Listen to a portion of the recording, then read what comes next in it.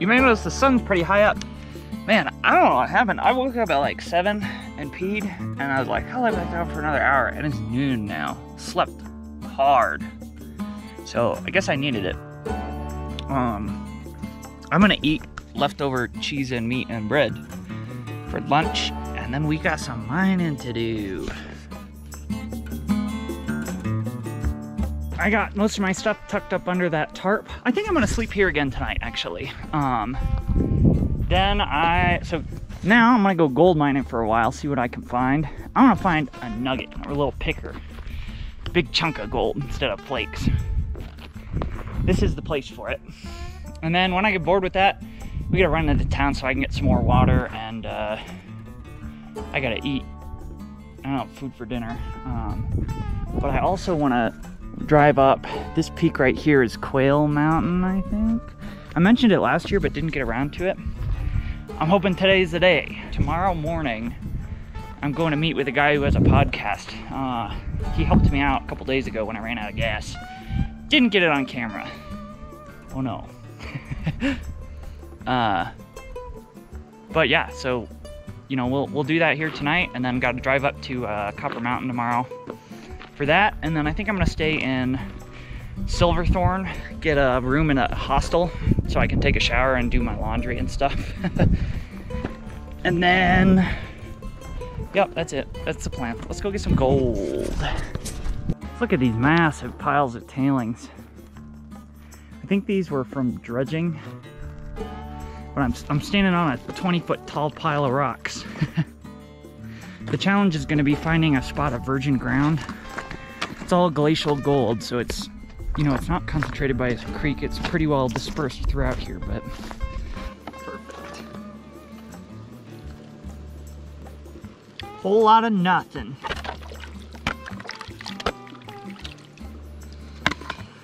Whew. I didn't give this place a very good shot, but I'm thirsty and I don't have any more water. Mm, I gotta say, I I keep coming back here all the time, but I don't like this spot. Just all digging in somebody else's old tailings. And there's a trick to finding gold here, because people find a lot of gold here, but I don't know what the trick is. It's not like normal placer mining. So you gotta kind of have a better understanding of the mechanics of the dredging that happened 100 years ago than I do. neat to think about 100 years ago, bunch of people crawling all over this land, digging up every patch of dirt they can find, just like I was doing. 415 on September the 8th, 2023. We're going on a ride up Quail Mountain. Got the microphone on, a full charged battery. Probably should check how much gas is in the bike, but I got the spare now. I had to buy another MSR bottle in uh, Glenwood Springs because I left it unbuckled the first night we were camping. Left it unbuckled and rode down that hill to go get water. And it fell off somewhere and somebody picked it up and took it. So, bye bye. But I bought a new one. Crappy thing is that I ran out of gas in between those two times and had to have get help from some strangers, which is not how we want to do it. All right. How's the bike sound? Pretty good. I have bashed the exhaust. Oh, I hit a, I took a photo of the rock on the way out of Half Moon Creek a couple days ago. Uh, but I hit it so hard it left like an inch deep bash in the header. Oh, sore. I had a motorcycle crash last night. I, won't say it like that. I, I, dumped the bike. I'll show you the spot where it was. Uh, it's just this like left-hand turn that uh, that's just a basin full of flour fine dust. And uh, came up to the turn, braked, started to skid, and just uh, lost it a little bit, went over. I think maybe I was going 25 but I had all my gear on and uh, and the highway bars worked perfectly. I don't even have uh, bruise or scratches or anything from it. I uh, I think I bled most of the speed off the bike uh, while I was crashing. man, oh man. This is my favorite part of Colorado. I'm sure I've, you've heard me say that a dozen times already, but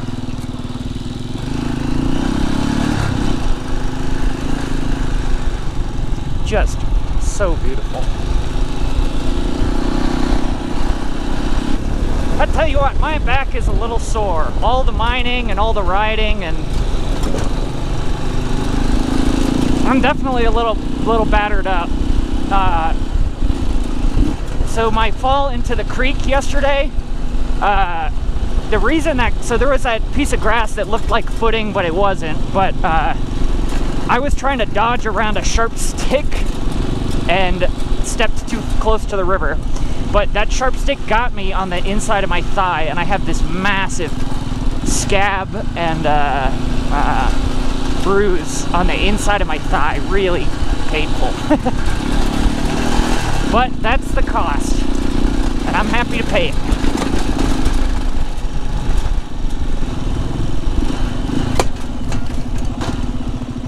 Yep, here's where I dumped it.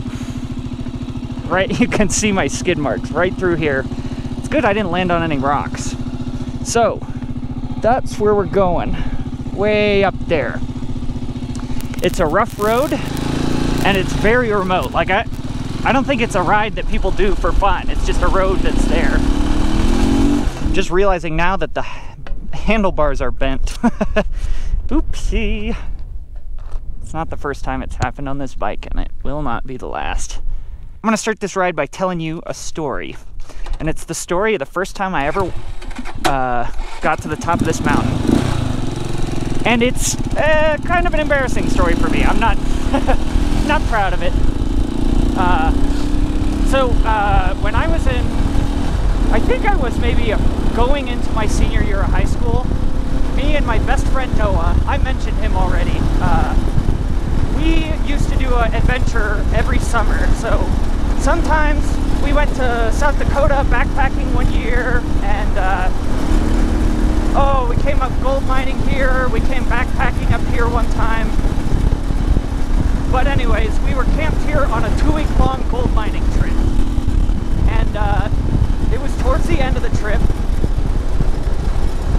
Uh, Noah you could fact check any of this but this was my perspective we were like fighting with each other. Just, I mean, we had no closer friends there could have been, but after sleeping in the dirt for two weeks and, uh, man, this road, sleeping in the dirt for two weeks and only eating shitty backpacking, cooking, and whatever we scrounged up, uh, having to wash all our dishes in cold water, dirty clothes, uh, we were kind of at each other's throats. And two, I wanted to mine and not hike, and he wanted to hike and not mine, so there were some creative differences.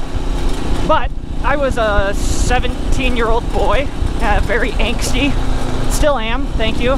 Probably always will be. Uh, and my parents came out to visit. They wanted to see, they wanted to mine a little bit, but it, it was just too much. Like they were hanging out with him and I just got grumpy and we were fighting the whole time. So I was like, I'm getting out of here. And I uh, hopped in the truck, that 99 F-150, and I drove all the way up here at like 7 o'clock at night and watched the sunset from the top of the mountain. Just needed some space to myself, you know. I hadn't been, neither of us had any privacy for two weeks, so it was good to be alone. And I felt a lot better by the time I got came down. We, uh, uh, he went to visit his aunt for a couple days, and I went with my parents to go see some stuff for a couple days before we got back together, and uh, that helped a lot. Honestly, we just, there's too much time, too much time together.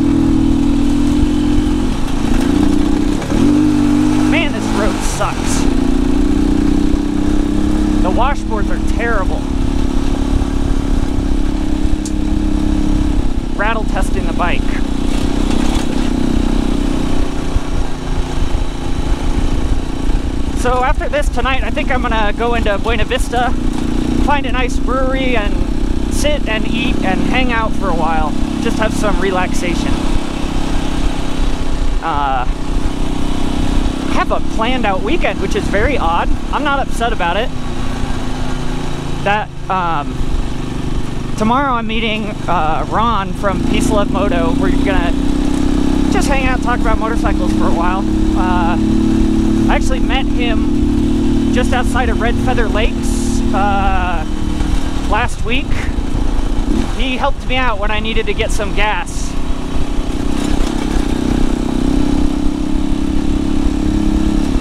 It's exciting. His uh, his philosophy and the I listen to some of his podcasts between then and now. Yeah, it's a really really good positive view on motorcycling. I, it's refreshing. Feel like it's the everyman's, you know, motorcycling attitude. The 99 percenters.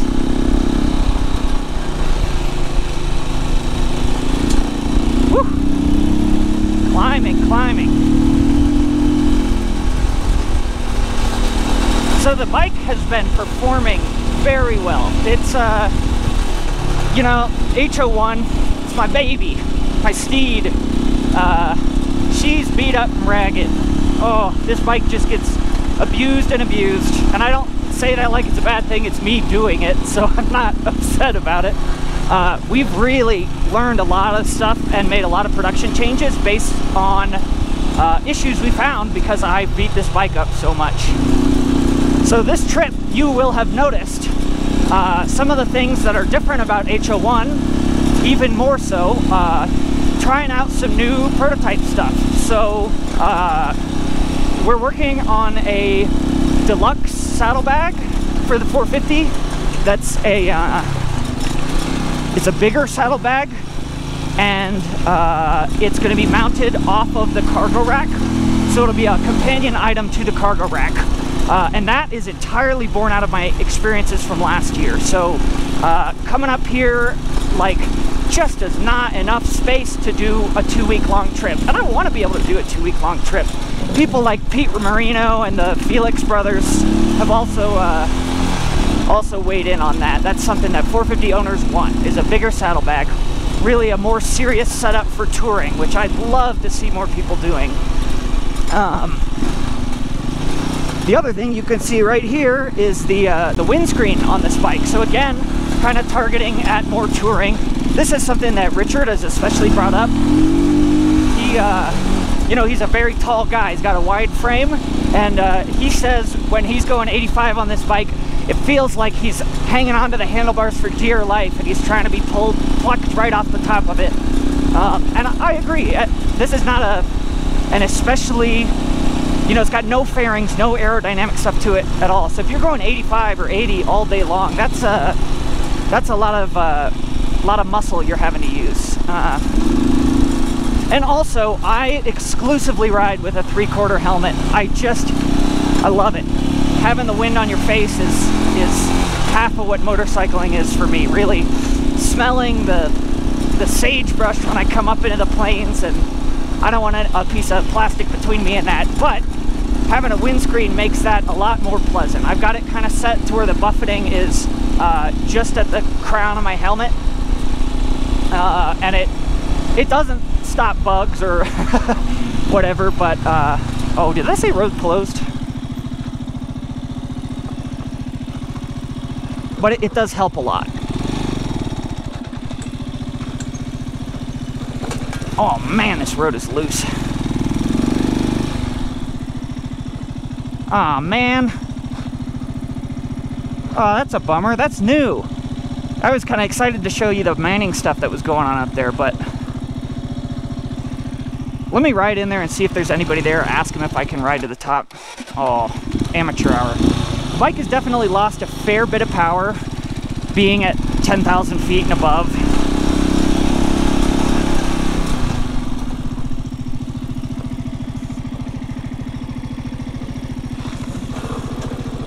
Don't see anybody. All right, bummer. Okay, I'm gonna have to find another ride for you guys then. Dang it, does that mean I have to record... Does that mean I have to record all of this all over again? I have to tell these stories twice. Lame. Uh, I'm not sure what to do.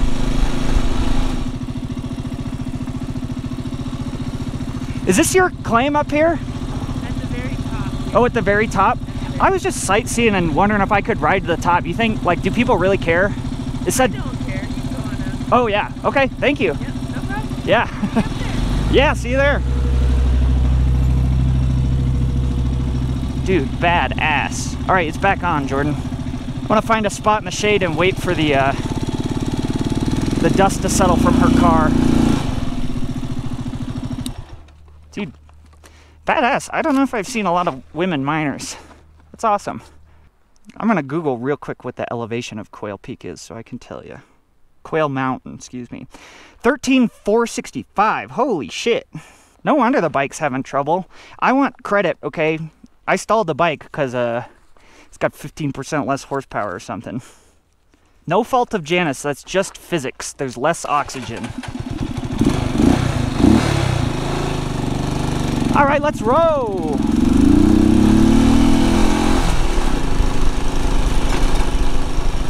So the windscreen is a new thing.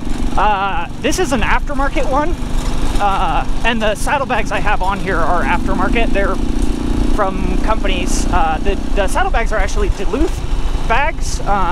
We're doing a uh, collaboration bike with them, which is really cool. So they custom made us some saddlebags that are their pattern, but made for the bike and with our waxed canvas, I believe really cool. So uh, keep an eye out for that bike. I'm sure we're going to be posting photos of it everywhere. Um, but the windscreen is an aftermarket one. Uh, kind of the idea with these is that uh, we don't have any experience with a windscreen on the 450 or, or the deluxe saddlebag idea. So let's just put some, you know, spend 50 bucks or 100 bucks on a windscreen and 100 bucks on some saddlebags. Put them on the bike and see what I like, what I don't like. The uh, the other thing are the highway bars. You can see down there. They're in all the photos. Uh, I really like these actually. They have a they have a really well thought out mounting system. Like uh, those highway bars are really uh,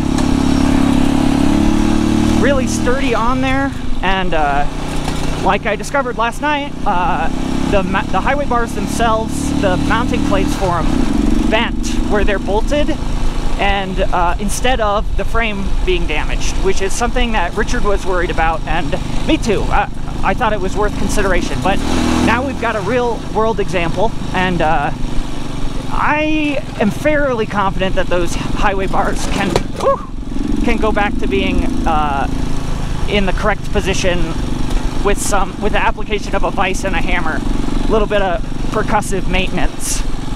Um, any faster than I was going though, man, I don't know. You would rip those highway bars up. But, you know, $200, or I don't know what we're gonna sell them for, 300 bucks, some, something around there. Set of highway bars, and you get to save your brake pedal, your engine case, uh, your leg perhaps. Um, really, it's something we don't talk about a lot because who wants to talk about crashes at a motorcycle dealership, right? But these bikes handle wrecks spectacularly well because of they're, they're so rigid uh, and they're set up to with a really sturdy steering stop where the highway bars will not rotate or excuse me the handlebars will not rotate farther than they're supposed to. So if you drop a bike the only thing that gets messed up is your saddlebags in the back your grips your you know your levers probably your shift pedal and your your brake lever but stuff like the tank and uh, and uh, you know, all the structural parts of the bike are uh, rarely damaged. We've seen, we had a lot of, when a bike gets wrecked, the insurance company sends it to us to evaluate and see if it's totaled or not. And, uh, oh shit. Ouch. So I, I get to see all the bikes that wreck. And, uh, man, I've seen Pete Marino's bike. He crashed at 70 miles an hour on the interstate. And, uh, like it pretty much just needed new handlebars and the grips and uh, I think he's riding around with the same ratty pair of saddlebags. That's got a you know big all the leathers scraped off the corner of it because it skidded along the highway for who knows how far. But the highway bars are going to be a great addition to that. I mean already this bike would be you know, I'd have to put a lot new, uh, more new parts on it if I didn't have those. So uh, I think people are really gonna like them, and uh, they're a size where you can buy uh, aftermarket clip-on pegs for them, and that's what I'd recommend. You could kind of put your feet in them, but you should have pegs on the outside. And uh, you know, it, for respect for the people who don't want that, we're not putting tabs on there, or at least that's what I'm thinking right now. Oh, this is very cool. I think I think that's a line for an aerial tramway to bring uh, ore down. Not 100% on that. That's what it kind of looks like though. So last time I was here, there were people mining right here at this spot, I think.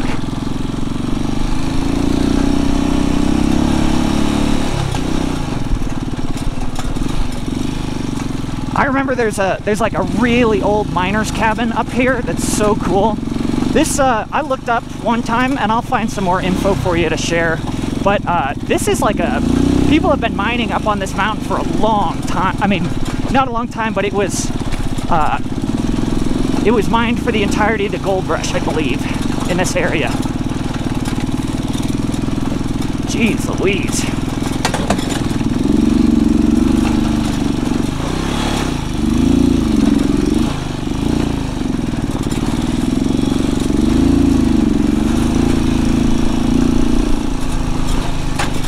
Whew, ouch.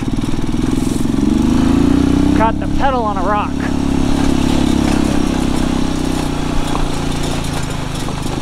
Oh yeah, there it is. Isn't that awesome? Can you imagine? So, the life of a prospector, right? In that time, your job was to come up into the hills and find where the gold was, and then mining, uh, you know, then they could bring the mining operation up here and set up. Like just wandering up in the hills with a burro and a gold pan and a shovel, rifle no people for miles and miles around. Totally, you know, self contained, independent, really cool. And then the second wave was probably like where this cabin came from. So prospectors came up here, found gold, found the lode, uh, and then the second round of people built log cabins up here while they were mining. And man, oh man, look up here, all of this stuff. See, this whole river's been washed out. I wonder if this was hydraulic almost certainly just the landscape is destroyed. All these piles of tailings up through here. Oh look at that there's another house. Gorgeous. So actually I think that's where I went when I was in high school up there. But I saw her car going all the way up here and I kind of want to see what a commercial mining operation looks like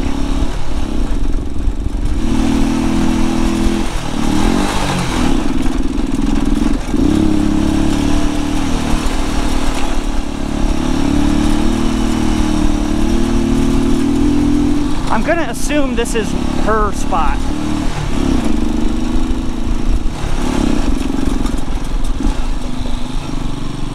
Oh, this is cool. Old Sin Mine.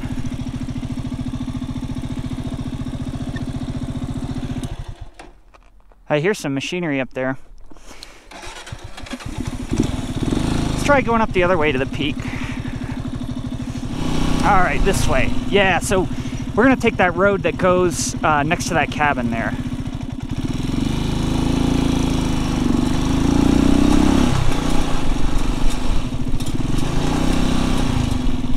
Ah, shit. Well, what am I supposed to do here?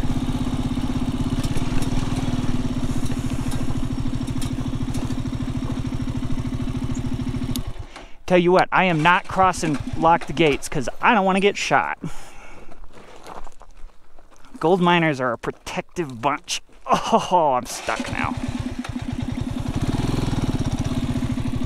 Um, I didn't, uh, I didn't point out on the way up, but right where that cabin is, somebody stood in the road and it looked like 60 to me, dumped two full mags out of an AR and all the brass is laying in the road.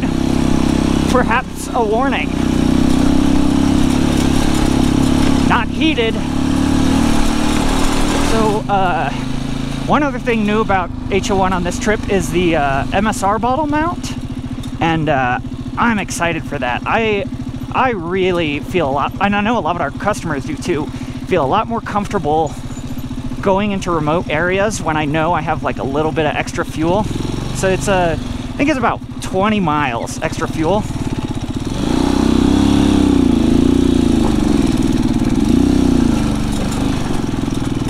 On a highway, you know, not like this.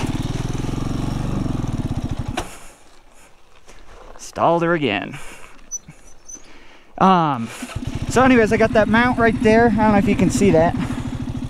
Uh, right behind your left calf. And I don't think it will interfere with uh, riding two up, you know, having a spot for your foot, or and it's not going to mess with any of the new deluxe saddlebags or the old saddlebags. Uh, it's just a really nice spot to tuck it in there and totally forget about it, you know. Oh, there's Twin Lakes. We were looking the other way. Wow.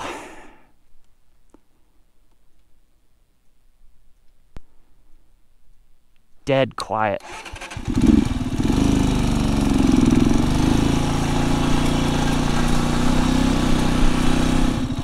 Closed to all vehicles.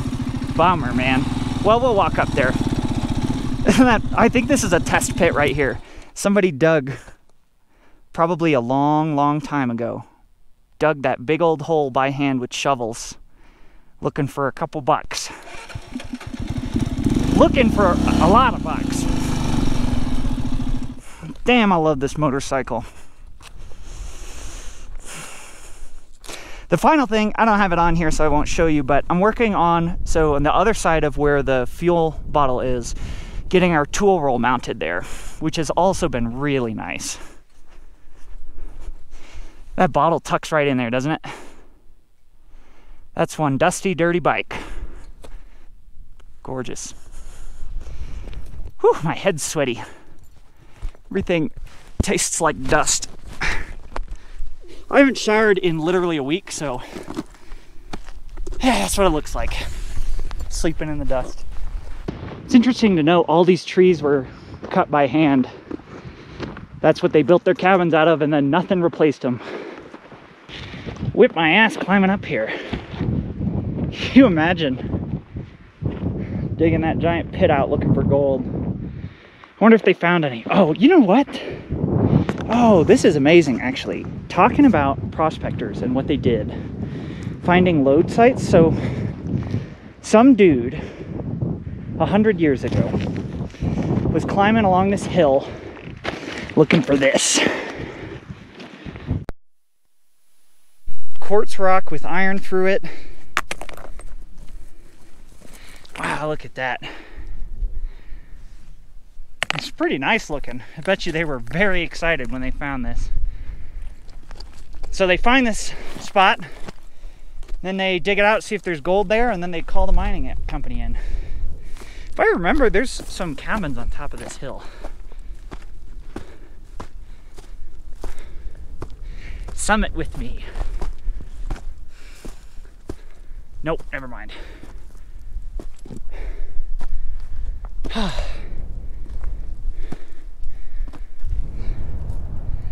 Isn't that something though? So actually this is Quail Mountain right here. So the peak of that is 13,600. I don't know where we're at, but it's enough to make me out of breath. you can see the bike way down there. No motor vehicles allowed up here. The bike's been doing really well. So right here, this is Two Lakes, the town. I don't know why they call it that. Uh, Maybe somebody could let, let me know in the comments. That lake way off in the distance there, I think is the fish hatchery. One of these days I'm gonna ask somebody, why are they hatching fish all the way up here? What, What's the deal with that? What kind of fish? Uh, and then way up this valley, right around the curve to the right is, uh, is Leadville. And Mount Elbert and Mount Massive right there. Or excuse me, up there. Yes, Elbert's the pointy one. Let's walk the ridge line a little bit. Oh, look at that. Somebody's been up there. I really like imagining those dudes who dug that test pit, right? They probably went right up to where I was sitting and caught their breath sitting in the exact same place, looking out at the exact same view.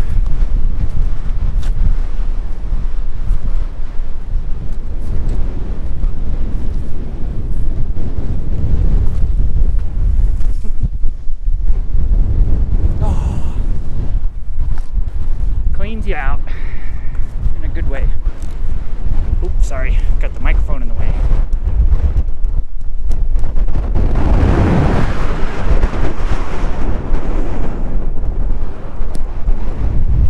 What a neat tree, huh?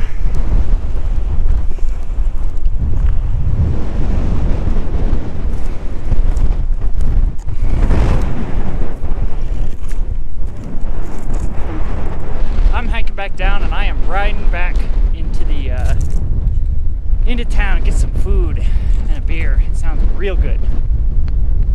You can see where we have to go. All the way down. That water right there going up there is Cache, or excuse me, right here is Cache Creek running parallel with the road. And you drive right off the cliff of those high plains into the valley and that's where Granite is. Okay, let's go get something to eat.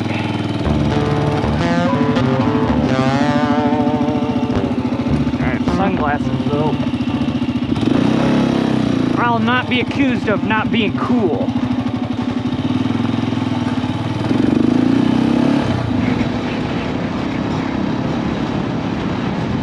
Good to be on the road!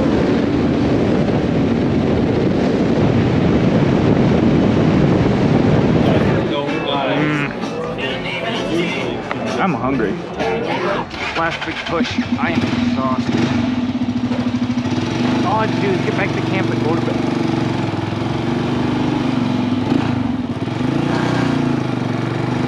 Woo! Got a full tank of gas. I am ready to hit the road tomorrow morning. I gotta get out of camp pretty quick tomorrow.